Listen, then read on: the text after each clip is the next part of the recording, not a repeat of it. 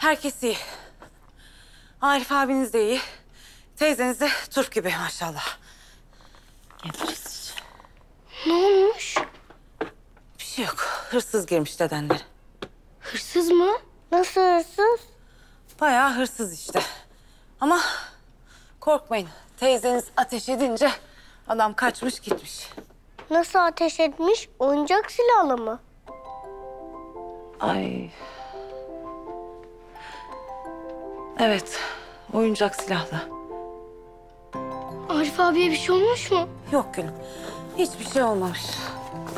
Hiç hiç mi olmamış? Hiç hiç. Hırsız amca ne yapmış? İşte ne yapsın hırsız amcan da? Korkmuş kaçmış. Aman ne amcası Doruk'cum be. Nereye kaçmış? Bilmiyorum valla. Arif abi onu yakalamamış mı? Yok yakalayamamış. Niye yakalamamış?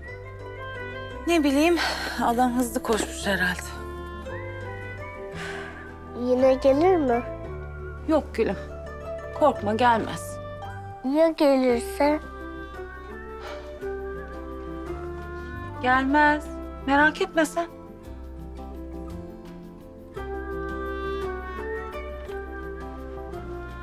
Nereye gidiyor? Atımı saklayacağım. Kız kim ne yapsın senin atını? Çok güzel bir at bu.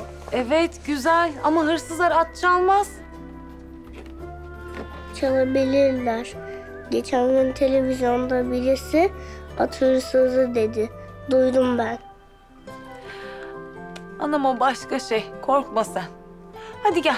Hadi gel. Hadi bana yardım edin. Hadi benim kuzularım. Hadi beraber toplayalım buraları. Hadi ver oradan bana bir yapboz hadi. Arif abi aldı bana bu atı. Ona teşekkür edeceğim. Milyon milyon teşekkür edeceğim. Ne dersin gülüm? Ne dersin?